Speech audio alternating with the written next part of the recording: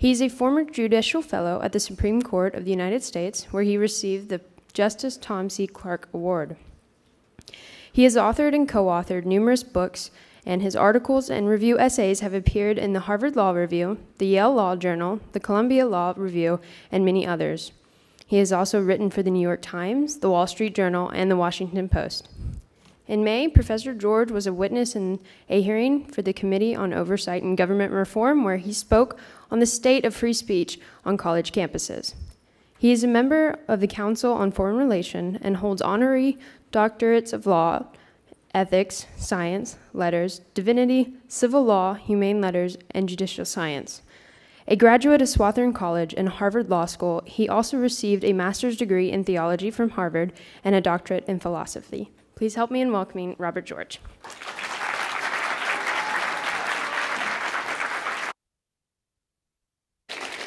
Thank you very much, Morgan. Thank you. It's such an honor and a treat uh, to be back with you at this uh, annual meeting. And what great digs you have uh, this year. And I'm, I understand it's because there's so many of you. It's just wonderful to see. Having a good time? Is everybody having a good time here?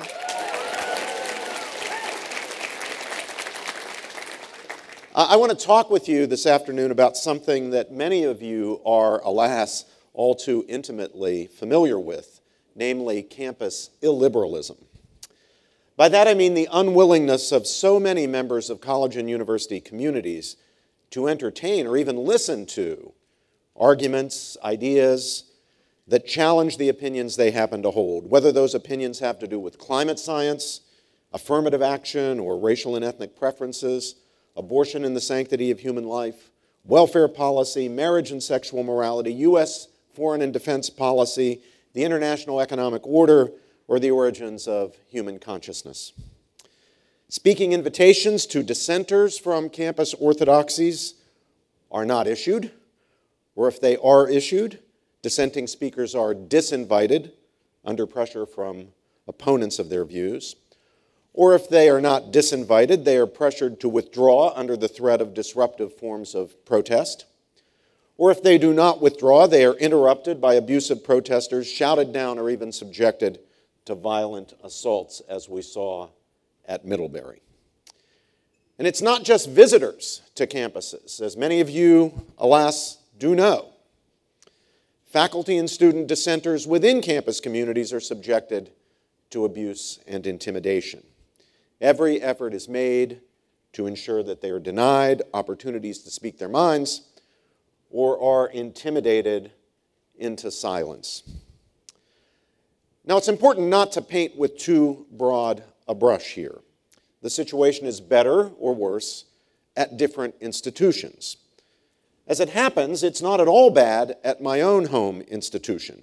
I recently completed my 33rd very happy year at Princeton, where I've never been subjected to intimidation or abuse, though threats against me have been made by people off campus, one of which landed the perpetrator in a federal prison for three years and threats have been made against Princeton for having me on its faculty. But to Princeton's credit, it has never yielded to those threats, uh, quite the contrary. But you all know the cases that I have in mind at colleges and universities around the country. They have been very well publicized. But in referring to these cases as cases of campus illiberalism, I want to say that these are specific instances or manifestations of a more general problem the denial of speaking opportunities, the disinviting of speakers due to their opinions, the disruption of meetings, and the shouting down of dissenting speakers are all what get the public attention. But as I say, these are manifestations.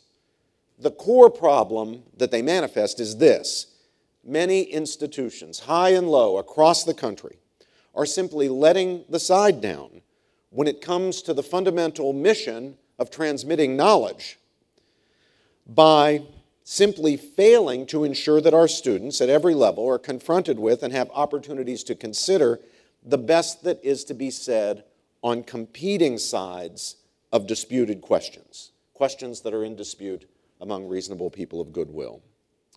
These institutions are permitting prevailing opinions on campuses to harden into orthodoxies, orthodoxies that go largely unchallenged leaving students with the false belief that in fact no real dispute, or at least no dispute among reasonable people of goodwill, exists.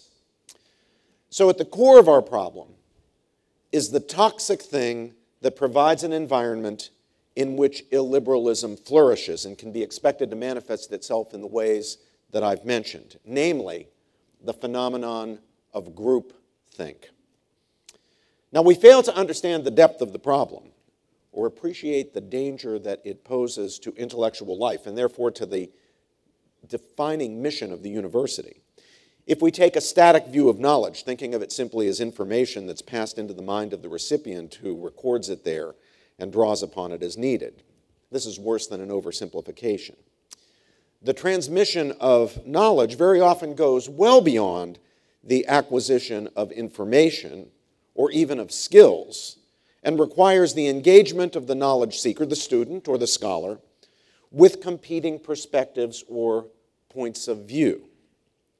This was not lost on the founder of academic life, Plato, who presents Socrates engaging dialectically, considering the best arguments on the competing sides with his interlocutors.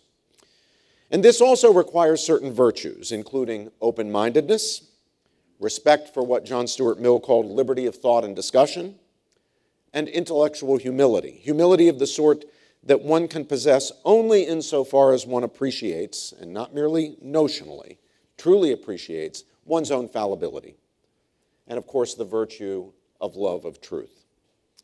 It's the task of colleges and universities, precisely as institutions of learning, to expose students to competing points of view and to foster in them those virtues. And that's necessary not because there is no truth to be attained, but rather because the pursuit of truth and the deeper appropriation of truth by the truth seeker requires it. You see then that whatever is to be said about claims that the predominance of certain views and their proponents on campuses to the exclusion of uh, others uh, is unfair, whatever's to be said about that.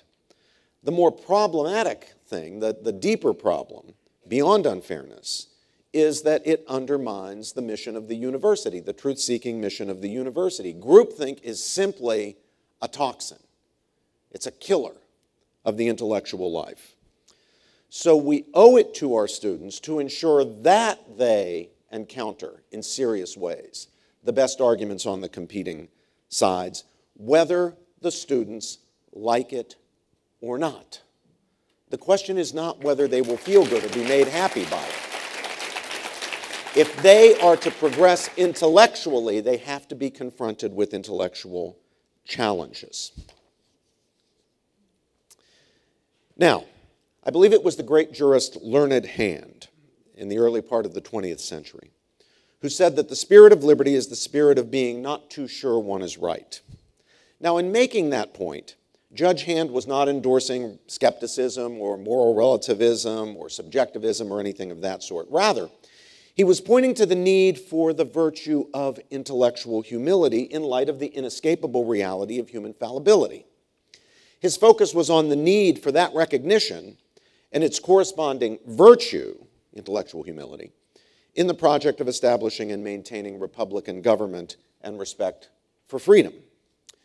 But what Judge Hand said about the spirit of liberty is also true of the spirit of truth seeking. A sense of one's own fallibility, a sense that one could be wrong, a sense of the need to listen to the other guy, a sense that one could be in error even about one's basic premises and most fundamental beliefs, an openness of mind, a willingness to entertain, entertain criticism and engage critics. All of these things are essential, and I mean that literally, essential to the truth seeking project. And that means that they must be cultivated in our young men and women, in you and your peers, by the institutions whose mission it is to educate you and them. Now, that's not to say, by no means is it to say, that you or I or anyone should not be an advocate of a point of view or to say that we should not be engaged politically. I would be a gross hypocrite at best if I were to suggest any such thing. I myself am highly engaged politically. So I have no problem with professors, with scholars, with students speaking out on political issues and getting involved in political causes. But politically engaged scholars, like all scholars, need to be highly cognizant of their own fallibility, even on matters about which they care deeply, and even when it comes to causes in which they are profoundly emotionally invested.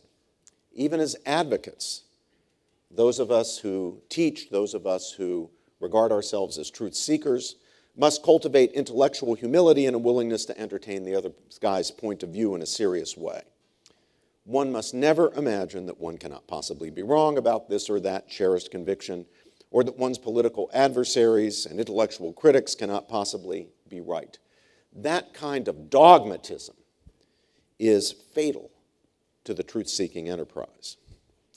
I think the proper attitude for us to hold is the attitude Plato teaches us to adopt, especially in his dialogue, The Gorgias. How many of you have read Gorgias? I see a few hands going up. Uh, and for those who did not raise their hands, it's not your fault. I want to have a word with the president of your university. Socrates' attitude in that dialogue is the one we need if we're to be good scholars and teachers and really students we must always be on the lookout, be open to the person who will confer upon us the inestimable, inestimable benefit of showing us that we are in error when in fact we are in error. Now, if there's anybody in this room who's never been in error, this does not apply to you. But I suspect that's a rather small minority of us here. If I uh, ask for people to raise your hand if you'd ever been in error, my hand would be the first to go up. The true friend, in correcting our mistakes, does us the very best service. And we need to see that, and we need to help our students to see that, those of us who are teachers. The person who sees his intellectual adversary as nothing but an enemy to be defeated, rather than as a friend joined with him dialectically in the pursuit of a common aim, namely knowledge of the truth of the matter under discussion, is already off the rails he's in grave danger of falling into the ditch of sophistry. So, openness to argument, to having one's premises and most fundamental cherished beliefs and values challenged. These are vitally important to the knowledge seeking mission that defines liberal arts institutions and professional schools such as law schools and medical schools, business schools that share the knowledge seeking aspirations of liberal arts institutions a spirit of openness to argument and to challenge, where it flourishes in an institution or an academic culture, is the thing that immunizes. It's like a vaccine, it immunizes these institutions against groupthink and chases the groupthink away when it comes knocking at the door. Now, part of the problem, of course, is that once groupthink, uh, groupthink has taken hold, folks who are caught up in it don't recognize the problem. I mean, when was the last time somebody said to you, you know what my problem is? My problem is I'm caught up in groupthink. When you're in it, it's too late. You don't recognize that you're in it. You may realize that not everyone shares your views, but you will suppose that those who don't share your views, who dissent from your views, are either irrational or ill motivated. You will imagine that anyone who disagrees with you is a rube or a bigot or a tool of nefarious capitalist interests or whatever, a fool or a fraud. You've probably run into people like that. Don't be them. That's bad, whether you're on the left or on the right. But we see it everywhere today in academic culture on the left, no doubt because of the dominance of the left in academic culture.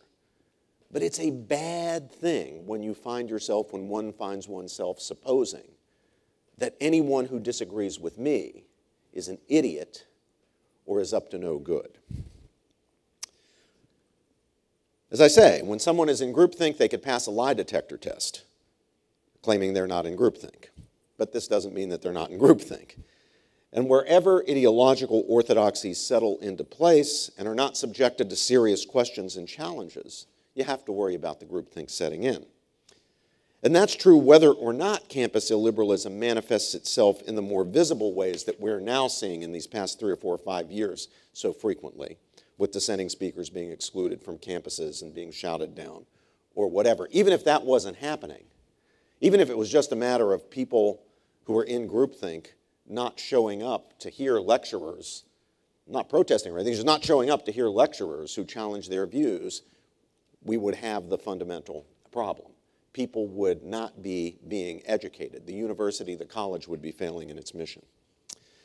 Now, it seems to me that viewpoint diversity on our campuses has its value precisely as a kind of vaccine against groupthink and as an antidote to groupthink when it begins to settle in.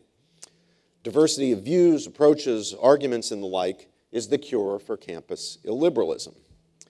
People who have the spirit of being not too sure that they're right doesn't mean you shouldn't have the courage of your convictions or have convictions, but people who lack an openness to be challenged because they're so certain that they couldn't possibly be wrong are afflicted with the fundamental problem. They will resist any intellectual or viewpoint diversification of the campus because they precisely will see it as an invasion by the rubes and the bigots and the haters and the fools and the frauds and the uh, people with nefarious interests.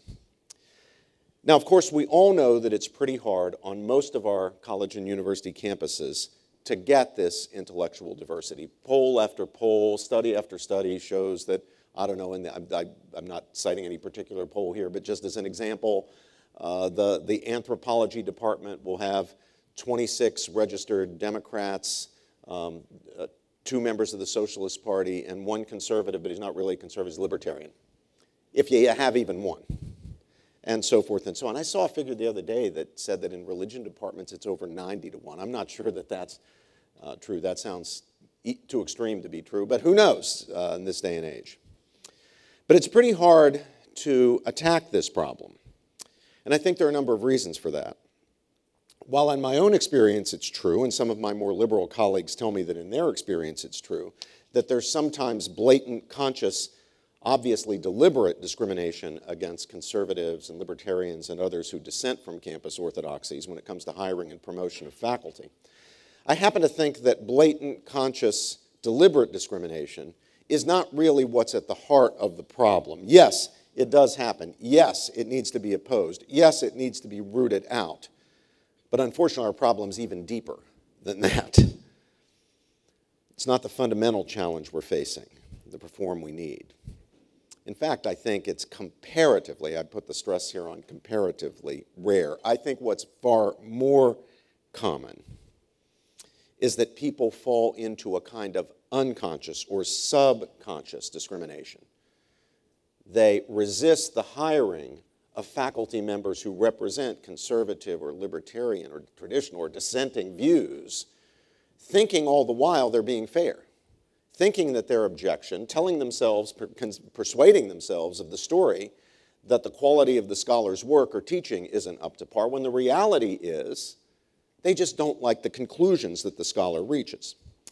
Now, in this vale of tears, we human beings, falling and fallen and frail creatures that we are, have a lot of trouble appreciating arguments or meritorious work, even good arguments, when they run counter to our opinions, especially when we're strongly attached to our opinions, especially when there are deeply held, cherished, even identity forming convictions. Now, as I see it, this isn't necessarily a liberal or progressive problem or a left wing problem. I think it's a human nature problem. Anytime an intellectual or political orthodoxy has hardened into place, it doesn't matter really whether it's right wing or left wing, it's going to be very difficult for a lot of people, we're all human, to draw the distinction between work I disagree with, despite its being very good and challenging and interesting and important and makes me think, and work that goes contrary to what I just know to be true on issues that are important or critical to me and bound up with my sense of who I am as a, here fill in the blank, progressive, feminist, atheist, what have you. People will experience challenges to the dominant opinions as outrageous attacks on truth, indecent assaults on essential values, threats to what is good and true and right and just, intolerable violations of the norms of what they will call our community. How often have you heard progressive activist students, especially the most radical, the so called social justice warriors, say that, oh, we couldn't possibly allow, say, Ben Shapiro to appear on our campus because what he is saying is an assault on our community's values. Well, who handed you Berkeley and says that's your community and not the conservative students' community? They're citizens of California too, right? Not our community. It's everybody's community. But we hear this all the time. Now, among my fellow critics of progressivism, there are those, perhaps the majority, who disagree with my claim that the problem is a human nature problem, not a problem with a particular ideology that happens to be dominant in contemporary academic life, namely progressivism. The great uh, University of Pennsylvania uh, historian, one of my heroes, uh, Alan Kors, with whom I almost always find myself in agreement, uh, and I once actually debated this issue on NPR. Uh, we, um, we, we exposed the family dispute uh, right in the presence of the Goyim. Uh, Alan and I debated this question of whether the problem is fundamentally a problem with progressive ideology or a problem with human nature. Uh, I said it's a problem with human nature. Alan argued that the problem is in some way really a problem having to do with the nature of left liberal or progressive ideology, not what I would have described it as, which was a problem of original sin. He maintained that the dominant political cultural perspective on campuses today is inherently illiberal. Now, perhaps he's right about that. It's an interesting question. I could be wrong. At the same time, I think even if Alan is right and I am wrong about the inherently illiberal nature of campus progressivism, it's also true that there's a human nature problem that we need to bear in mind, a problem that could be counted on to arise and threaten the integrity of intellectual life anytime there's an absence of dissenting opinions against ideological orthodoxies in an academic institution especially when it afflicts most academic institutions, and most especially when it afflicts or prevails uh, at the wealthiest, most prestigious, and therefore most influential institutions, which it clearly does on the progressive side uh, in our universities uh, today. And of course, one of the things that we have to bear in mind, and the rise, uh, and, I, and I praise them so much, the rise of Heterodox Academy shows is that the resistance to um, this kind of illiberalism uh, is not, fortunately, is not simply being waged by conservatives. There are old fashioned liberals, many of them associated with Heterodox Academy, who are out there doing some truly heavy lifting. They see it as the problem as much as we see it as the problem. So God bless them and salute them, and I'm very proud to be locked uh, arm in arm. Uh, you know, after we, uh, after we uh, have a day's worth of resistance, we can uh, retire to the uh, hotel and have a nice dinner together, drink a, wine, a glass of wine, and argue about progressive, whether conservative ideology. But the important thing is that we're arm in arm in this struggle against illiberalism. So I ask myself the question what should we do? Now, of course, as a conservative, as a dissenter myself, a member of a tiny minority in academia, I'm not in a position to uh, have much power to do anything. But I would say to my friends, and have said, and will continue to say to my friends on the liberal side, who perceive the problem as I do, and who think that something needs to be done about it, I'll say number one, of course, we need to expose and protest against any conscious discrimination based on viewpoint. When we see that, we have to call it out. Uh, if a student is being given a bad grade or a less good grade than the student would, would have gotten uh, because the student happens to be challenging some progressive sacred cow. We need to get right on that. Other faculty members need to come to the defense of the student. There are ways to do that. We can do that. So we need to encourage, those of us in the professorial ranks need to encourage our progressive colleagues uh, to truly be self-critical uh, about this issue, to think more deeply about it, to be open to these arguments. And, and you see the fruit of those efforts, I think, in Heterodox Academy. Uh, I want my colleagues uh, on the other side uh, to recognize what I try to recognize myself, which is that there are good, challenging, interesting arguments on both sides of most of the significant issues of our time. It, it's, it's not just obvious who's right and who's wrong. Even on issues on, on which I have a strong opinion, I happen to be a very strong pro lifer, very, very strong pro lifer. And I think the argument's a knockdown. But my colleagues on the pro choice side make arguments that make me think. Even my more radical, my most radical colleagues, like Professor Peter Singer at Princeton, uh, who defends not only the morality of abortion, but even of infanticide, makes arguments that make me think. And when he's making arguments that make me think, even if I'm scandalized by the thought that you would kill not only an unborn baby, but a newborn baby, even though I'm scandalized, nevertheless, when he makes me think, he does me a service. And I want people on the other side to see that, as to his credit, by the way, Professor Singer himself does. He wants to engage with me because my arguments make him think. We have that in common despite this profound moral difference between the two of us. But it's especially hard to do that once orthodoxies at institutions have hardened into place. When one is not hearing counterarguments, especially hard for students. In some ways, I feel bad for these student, these identitarian warriors, these left-wing students who shut down speech and everything. I mean, part of the problem is they have never actually heard counterarguments. They're at the point now when they, they actually refuse to hear them. But they wouldn't have gotten into that position had they been in environments where those arguments were being made every day and they would have been hearing them. When one is hearing the same thing from everyone whom one respects, day in and day out, when one is being reinforced in one's own opinions by all one's friends, all one's colleagues, whether one is a student or a faculty member, the motivation to think more critically tends to be really very hard to work up for all of us. Working it up is much easier when one is regularly, in the normal course of things, being challenged by thoughtful people who don't always see things just as one sees them oneself. So it's best for us not to get in this fix in the first place. But once these orthodoxies have hardened into place, we're just going to have to do the heavy lifting of attacking them. I'll tell you a little story. I'm going to, I'm going to interrupt myself here, tell a wonderful little story. My late colleague, Paul Sigmund, wonderful liberal uh, professor of uh, political theory uh, at Princeton, uh, married into a great political family, Democratic political family uh, from um, Louisiana, the Boggs uh, family. Uh, but Paul was a kind of uh, old fashioned, uh, New Deal liberal, uh, certainly moved a little leftward as, as the progressive movement moved left, leftward. But uh, to his credit, because he was interested in conservative ideas, even though he didn't share them, he taught Princeton's course on political conservatism. We actually had and have a course on political conservatism.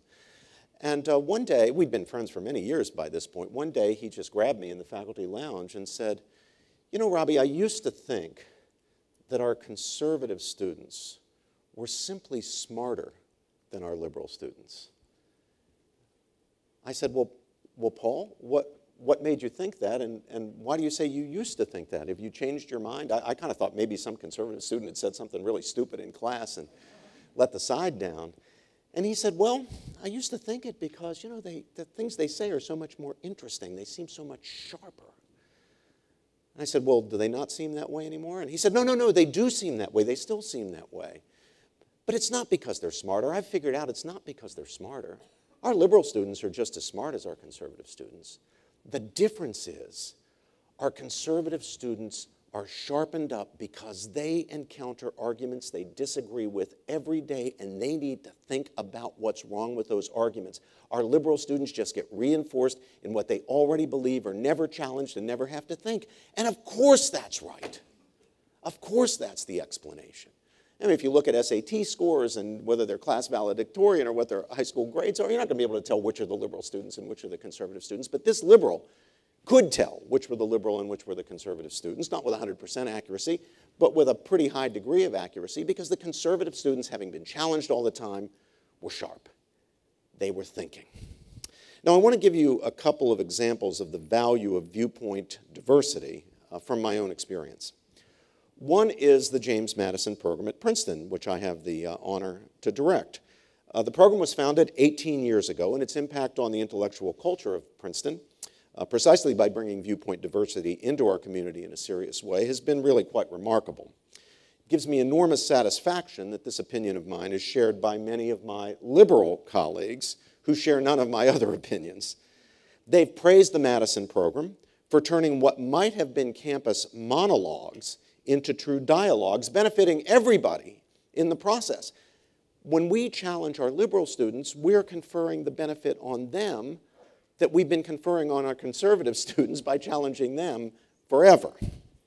The presence on campus of an initiative like the Madison program ensures that there are people around with PhDs teaching classes and so forth who think differently about things, even about fundamental issues that everybody cares about and which many people assume all academics are on one side of. So if there's not an initiative like the Madison program on your college campus, you should begin asking the right people why there isn't. And you should make the point if they can do it at Princeton, why can't they do it here? And of course, the answer is they could do it here if they wanted to, if they valued viewpoint diversity, if they really wanted to educate their students by exposing them to the range of reasonable and responsible points of view. Now, the second example, again from my own experience, I want to share with you the value of viewpoint diversity is the experience, the wonderful experience I've had now over more than a decade of teaching with my colleague and friend Cornel West. Now, Cornel and I, well, how to put this? Cornel and I don't agree on everything. But what happens in the seminars we teach together is simply magical, and the impact on our students is amazing. What you have is a genuine collaboration.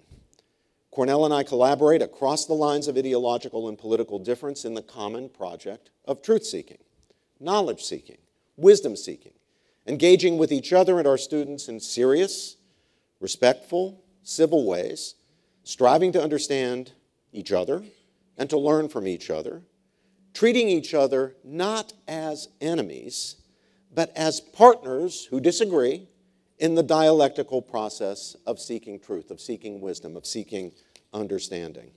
And here's the thing that really matters our students learn, and they learn how to learn. They learn to approach intellectual and political matters dialectically, that is, by critically engaging the most compelling points to be adduced in favor of competing ideas and claims. They learn the importance of mutual respect and civility and the value of those things. They learn from two guys, who, both of whom have some pretty strong opinions, neither of whom is shy about stating them publicly. And they learn that the spirit of truth seeking, like the spirit of liberty, is a spirit of openness to hearing the other guy's point of view.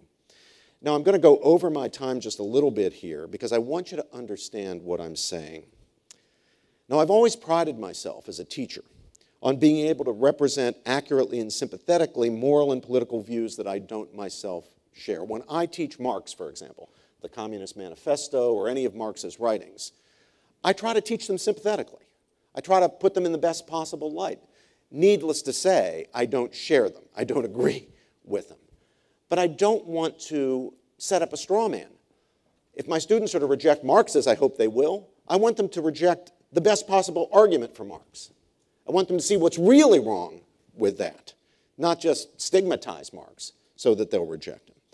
Or if I'm teaching about abortion or affirmative action or marriage or religious freedom or whatever, I like to think that if someone came into class who happened not to know which side I'm on, that never happens, by the way, but if there were such a person, they wouldn't be able to figure out from my presentation of the competing positions and arguments which side I'm on. Now, that's not because I think professors should hide their views. Outside the classroom, I don't hide my views.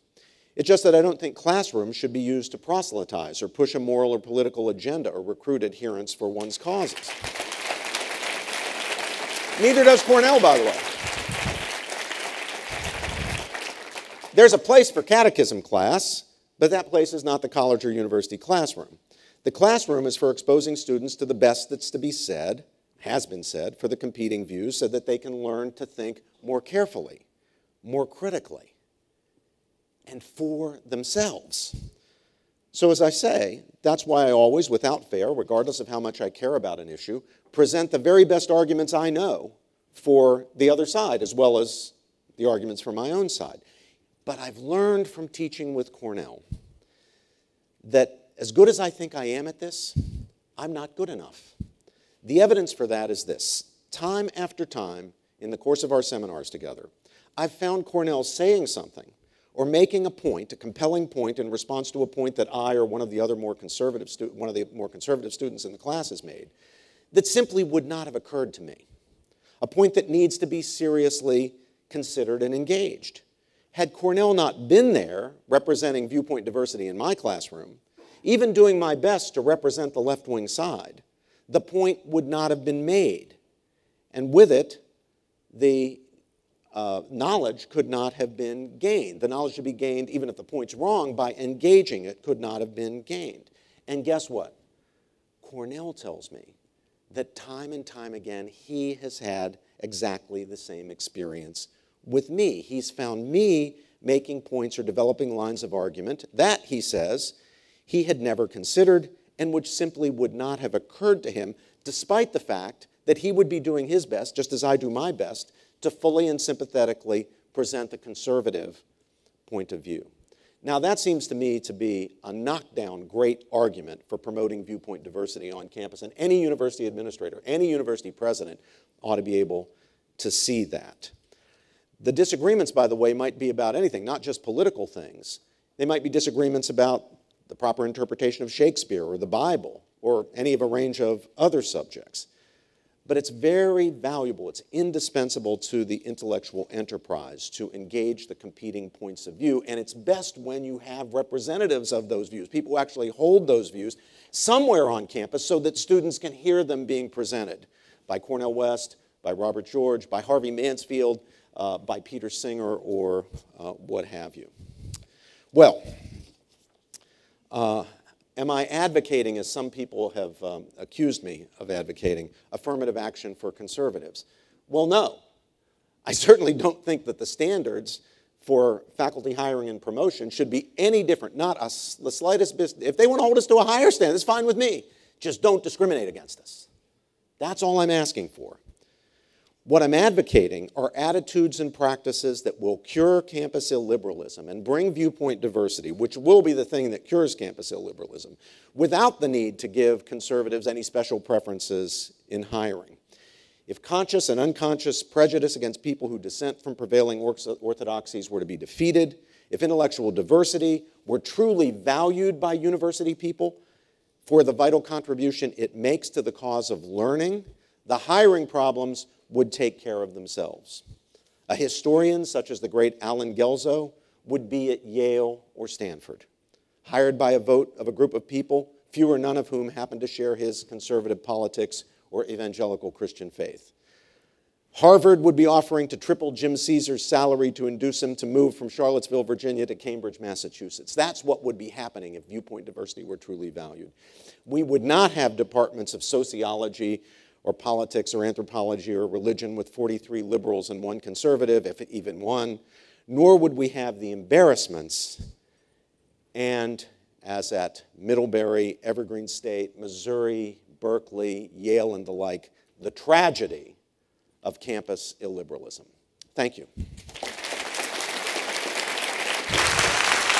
Thank you so much. So great to be with you.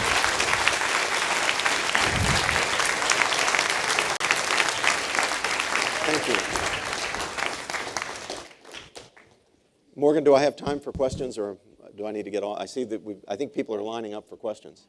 I'll, I'll take questions till they take me away. Yeah. Hello. Yes, ma'am. My name is Manning Martis, and I attend Bucknell University. Um, in the Cor- spring. Cornel and I visited you there. Right. Yeah. Uh, I had the privilege of seeing uh, both of you speak yeah. there. Um, our campus has yet to endorse the free speech doctrines that you and Cornel um, have articulated how do we push um, for the right to free speech, especially adopting a similar doctrine to University of Chicago or the ones that you have articulated um, to the administration? Uh, in the New Testament, in the Gospels, uh, Jesus tells a parable. It's about a woman uh, who has a case before an unjust judge. He's described wonderfully in the scripture as a judge who cares for neither God nor man. He's just in it for himself. He's a selfish, unjust uh, judge. But uh, Jesus notes that, uh, that the woman simply wouldn't let go of the thing. The judge tried to brush her off, and she kept coming back, and the judge tried to brush her off, and she kept coming back, and she kept coming back, and she kept coming back. And finally, the judge says to himself, I love the way the scripture tells the story. The judge says to himself, I am an unjust judge who cares neither for God nor man. But eventually, I have to give the cause, I have to award the case uh, to this woman, for she is so persistent that I fear if I do not, she will someday do me harm. Let that be an example to all of us. Let's be persistent. Let's be at their doors. Let's be asking them constantly, why have you not endorsed the principles? Why have you not endorsed the Chicago Speech Do not give up. They think, they think that because you're only there for four years, they can outweight you and outlast you. Make sure you do not leave Bucknell University without having freshmen and sophomores and juniors ready to step into your shoes. They're beating on the door all the way up to the top, to the president of the university saying, Why have you not endorsed the University of Chicago principles? Chicago did, Princeton did, Louisiana State did, Purdue did. What's wrong with us at Bucknell? We got a problem with free speech? If so, say so plainly. Thank you.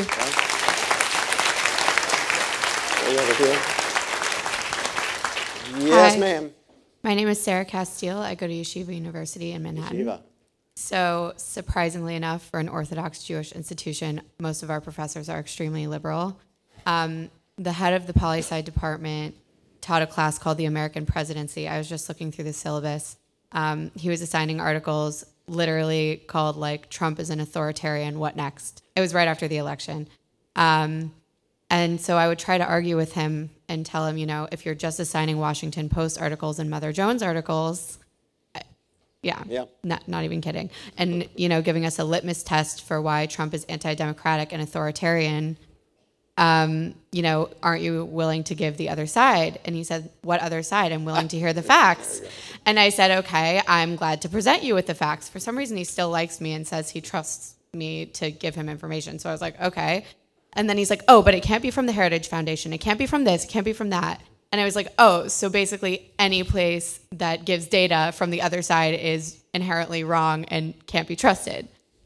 So my question is, if someone disregards the legitimacy of literally any source on the right to disprove his facts and evidence, what else can I do? He doesn't care about logic. He only cares about statistical data. Well, we professors, on the whole, are a rather obscure bunch, uh, but we, um, we rather, um, the, the word lust might not be too strong. We rather lust for celebrity and publicity. I think you should do your professor the favor of making him one of the most famous people in the United States. This syllabus of his, post it online. Put his name in big, bold, block 24 point type. After he gives me an A and passes my senior thesis. Thank you. Yep. Hold them up. Hold people accountable. That, that was the answer to the first question, basically, in essence, as well, the Bucknell question. Hold them accountable. If they have not endorsed fundamental free speech principles, hold them accountable. If he has this ridiculous syllabus that's entirely one sided, hold him accountable. And by the way, where, where did you go, Yeshiva? Um, put, put together your own alternative syllabus, put together your own alternative syllabus that would really show the competing points of view and post that alongside his syllabus and, and then just ask you know, the, the, the great public out there that, that looks at these things, which do you think students would learn more from? Uh, who's next? Over here? Hi, Professor. My name's Anthony Jones, and I attend Wyoming Catholic College, a very strong liberal arts school, and we Yeah, study a lot yeah, of Plato. yeah. And uh, my question is uh, that you said that good arguments against abortion do you a service because they make you think. Uh, but as conservatives, especially as Christian conservatives uh, who believe that we have objective truth on our side, how do we approach radical intellectual challenges to our core beliefs and values, such as the right to life uh, and the importance of the family, with a truly open mind? And is this really possible? Oh, yeah, now an open mind does not mean an empty mind. An open mind just means a willingness to listen to people who challenge your views. That's it. I mean, we should not deny what is an evident fact. I mean, uh, uh, as again, I mean, you're probably like me, a super strong pro life. I care about this deeply, deeply. I'm scandalized and shocked by the injustice of our current regime of uh, licensed feticide. But we cannot deny an obvious truth, and that is that there are reasonable people of goodwill who don't see it the way we do. I think that's a tragedy, but that's the reality. So, what are we to do? We are to engage with them. If their arguments are wrong, we ought to be able to show where they're wrong. And if we can't show where they're wrong, it's time for us to think maybe whether, despite the strength of our views, whether we might be wrong. You say we have truth on our side. I, I, would suggest that we just recharacterize a little bit. You know, we want to be on the side of truth. That's the key thing, because we do believe in the objectivity of, of, of truth. So we shouldn't be afraid that we're going to lose if we open ourselves up to argument. Or if it turns out that we do lose, it's because we should lose. So that's how I would say you square that apparent circle. Okay, thank you. Yep. Hi, I'm um, Hunter Olson from College of Wooster, and I wanted to ask a question concerning what you said about learning from the other side. Should, as college students right now, should we work on reading the best possible argument for our side? Like, if we're in favor of capitalism, should we read should we should read the road to serfdom, or should we at this stage start looking at what the other side has to say about uh, the, the concerning arguments? Th- th- those are simply false alternatives. You need to be reading the best on both sides, the competing sides. So in, when Cornel and I uh, teach our seminar together, frequently we'll teach Marx, we'll teach, uh, for example, Communist Manifesto or on the Jewish question or uh, the critique of the Gotha program. But we'll also teach, well, Hayek actually, sometimes the road to serfdom, uh, sometimes uh, uh, the Constitution of Liberty or one of his one of his other works. But but I think you have to be reading the competing points of view. It's not a question of where you start. It doesn't matter where you start. You want to read Marx first. You want to read Hayek first. It doesn't matter. Just make sure that you're reading both sides of the argument, the best on both sides of the argument. The, the temptation that we all have to avoid is, and I see this on student exams all the time because I, am a dragon with my own students about uh, requiring that on their written work, on their papers and exams, they confront the best arguments on the competing sides. And the problem that I run into time and time again, what, what I find them struggling with is they'll set out the best possible argument for their side, they'll engage with top authors on their side, but what they set up on the other side is a straw man uh, that's easily knocked down. Well, I and the, my preceptors, my teaching assistants who grade these exams, aren't fooled. We can see when all you're doing is setting up a straw man. The key thing is to teach them to avoid setting up the straw man. Thank you. Yes, over here. I think this man is next. Hello, uh, my name is Tan Tordowski. I'm from Orange Coast College in uh, Southern California. Wh- which college? Uh, Orange Coast College. Yeah. Mm-hmm. Anyways, um, I was wondering if you had like an, hypothesis or maybe just an idea that can explain why the left would promote policies that put American lives and America as a whole in danger. I, am I'm, I'm having trouble hearing you. Say it more slowly. Uh, so what I'm trying to say is, I was wondering if you had a hypothesis that could explain, like, there's an idea that could explain why the left supports policies that puts American lives and American people in danger? Well, I mean, I, I'm sure they're not doing it because they think it's a great idea to put American people in danger. It's got to be some other value that they think needs to be advanced, which has the result, from our point of view, of putting uh, people in danger. So I, I don't think we engage the left properly by saying, you're for putting Americans in danger and we're not. We need to know what is the value that you think needs to be advanced at the cost, from our point of view, of putting people into danger. And then let, us argue it out. Let's see if that's truly a value or if that's a good or honorable or decent way of, of uh, promoting that value. And then we need to subject our own view to scrutiny. Or we, is, that, is that policy truly putting Americans at risk? And is it doing so in a way that is unjustifiable? Obviously, we put American lives at risk when we send our soldiers to war. But if we believe in the war, we believe in the cause, we think it's, it's legitimate and necessary to, to do that. But I think we need to enter into debates like that in a fair minded way and not characterize them in advance in a way that uh, imputes bad faith to our interlocutors. Thank you very much. Is there one more? No, okay. Thank you all very much. Thank you.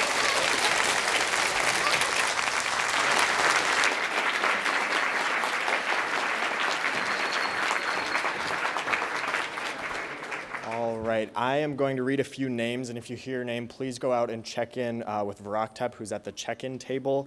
Uh, Joshua Abaya, Morgan Bailey, Courtney Abd, Paul, sorry, I can't pronounce your last name,